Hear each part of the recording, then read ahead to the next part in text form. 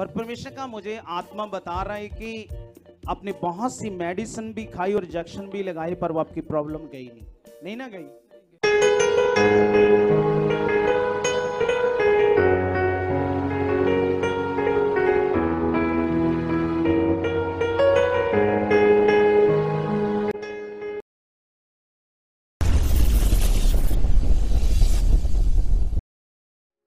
जी sister का नाम रानी है और जी अमृतसर पतापुर गाँव के रहने वाले हैं और इनकी बहुत ही बड़ी गवाही है। और जी सिस्टर बता रहे हैं कि तीन साल हो गए, इनके बीपी बहुत ही बढ़ता था, बहुत हाई रहता था, जिसके कारण इनको रोज़ ही मेडिसिन लेनी पड़ती थी। और जो बता रहे कि बीपी की प्रॉब्लम के कारण ही इनका जो लेफ़्ट साइड की जो टांग है उस पर भी बीपी का असर पड़ गया, जिसके कारण बहुत दर्द रहती थी। और जो इन्होंने फिर मेडिसिन खानी शुरू कर दी, क्योंकि इनकी टांग में बहुत दर्द निकलती थी, और बहुत सारी इन्होंने मेडिसिन खाई, पर कोई भी फ़र्क नहीं पड़ा।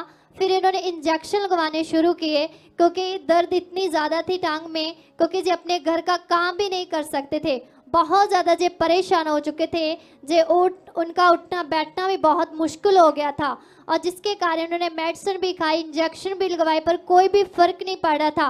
और जैसे इस प्रॉब्लम के कारण के बाद ये बता रही कि इनका जो खून की कमी भी हो गई थी इनको, जिसके कारण इनकी बॉडी में वीकनेस हो गई और ये बहुत ही परेशान थे। क्योंकि ये बता रही कि इन्होंने कोई भी डॉक्टर नहीं छोड़ा, क्योंकि ये रोज़ ही मेडिसिन खा रहे थे।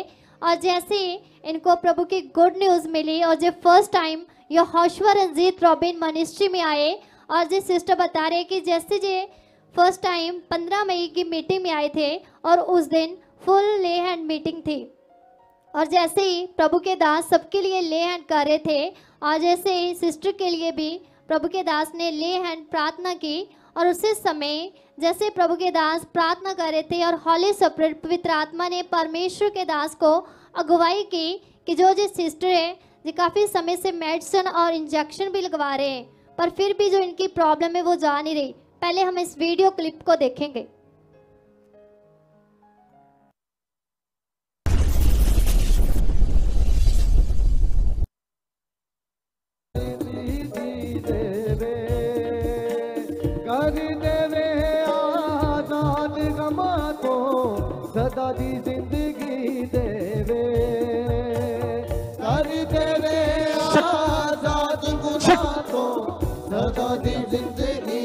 उखड़ उखड़ उखड़ उखड़ उखड़ कल छोड़ शट कतरा कतरा चलाओ इसके जीवन दाग बदी शट। तोवे शट। कतरा कतरा इसकी बॉडी से चलो यीशु के नाम से। चलाओ। कतरा कतरा खून यसूदा दाग बदी दे तोवे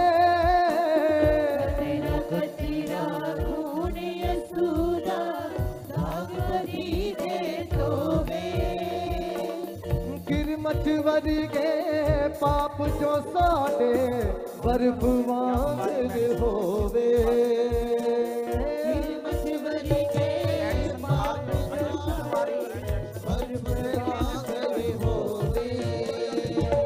कर देवे आज़ाद गुनाह को कर देवे आज़ाद सुनो, सुनो।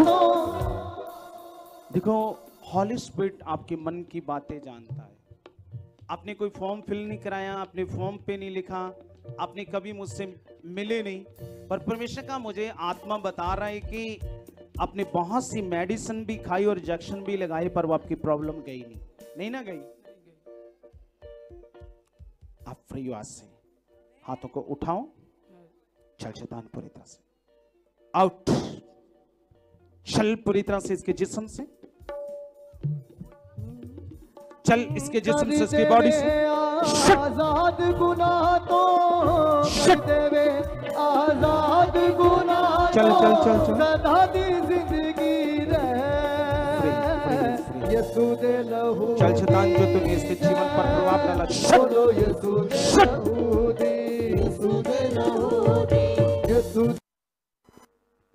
और जैसे जिस सिस्टर उस दिन फ़र्स्ट टाइम मीटिंग में आए थे और इन्होंने किसी के से किसी के साथ भी ये बात नहीं की थी कि इनको जो प्रॉब्लम है। पर जैसे ही परमेश्वर ने परमेश्वर ने अपने दास को अगवाई की जैसे ही तो उस समय इनको बताया गया और उनसे पूछा गया।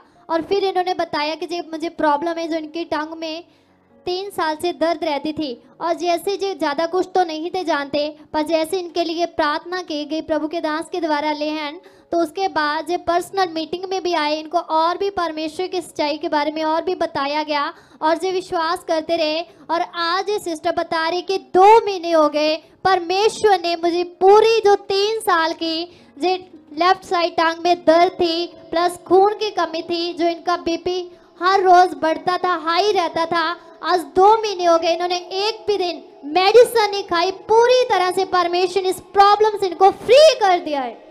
ये तारीफ़ छोटी नहीं आज चाहिए। और जब परमेश्वर का और परमेश्वर के दास का बहुत सारा धन्यवाद करते हैं हम सब तारीफ़ करेंगे क्लेसिया मेरे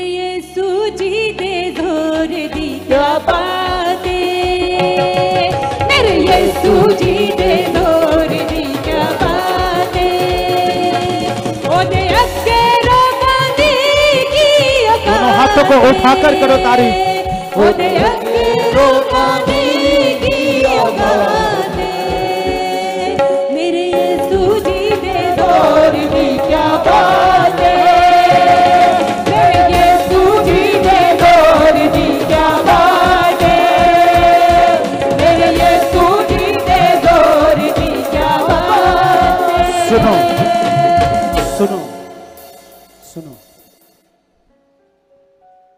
खुदावन आपके मन की बातों को जानता है। पता है? आपके मन की बातों को जानता है। आपके मन में क्या है किसे बताए? कि फ़र्स्ट बार आए थे। बोलो, कोई फॉर्म फिल नहीं, कुछ नहीं। अभी वहाँ पे जो शायद ऑनलाइन देख रहे हैं, जब मैंने इनसे हल्का सा पूछा तो हो सकता कोई पूछेगा, पूछकर ये प्रोफेसी कर रहे हैं। नहीं, मैं सोच रहा था कि मैंने ऐसे क्यों किया? क्योंकि मैंने जब एकदम से मैंने मैंने ऐसे लोगों को बताना था, मैं इन्हें बताने लगा कि आप ऐसे करते हो, आपको ये प्रॉब्लम क्योंकि ये तो खाली खड़े थे। तो मैं इनको पूछने लगा, आप आप इतने समय से आप मुझे हॉली स्पिरिट बता रहा है कि आप मेडिसिन खा रहे हो, लंबे समय से आप इंजेक्शन लगा रहे हो। तूने कहा हाँ। मैं इनको पूछने लगा, जबकि मुझे पूछना नहीं चाहिए था। तब मैं लोगों को बताने लगा, क्योंकि चाहिए तो था, मुझे डायरेक्ट मतलब लोगों को बताना चाहिए था कि इनकी ये प्रॉब्लम है, देखो। इसलिए ये मैं क्लियर कर रहा हूँ कि परमेश्वर सच्चा है। ऐसे नहीं मैं हीरो बनने के लिए ये बात क्लियर कर रहा हूँ, नहीं। क्या उस उस चीज़ का क्या फ़ायदा? जो अपनी अपनी महिमा खुद से लेना, उस उस महिमा को क्या? वो महिमा जो खुदा दे। वो लोग है? असली महिमा वो जो खुदा दे। और ये सत्य ये सच्चाई है और खुदा इस बात का गवाह है। जब मैं प्रार्थना कर रहा तो होली स्पिरिट ने, पवित्र आत्मा ने मुझे ये बात बताई। पर ये मैं बात इनको कहने लगा कि आप ये करते हो इतने समय से। तब मैंने लोगों को बताने लगा। समझ आ रही है? देखो, परमेश्वर हमारे मन की गूढ़ बातें भी छानता है। और ये छोटा काम नहीं खुदा मन ने किया। और वो सबके साथ करना चाहता है। मैंने कहा, वो सबके साथ करना चाहता है। सबको हील करना चाहता है, चंगा करना चाहता है, वो सबको ब्लेस करना चाहता है। जितने बीपी के रोगी हैं, जितने टांगों के रोगी हैं रिसीव करो in the name of Jesus दवाई से। रिसीव करो। मैंने कहा रिसीव करो रिसीव करो।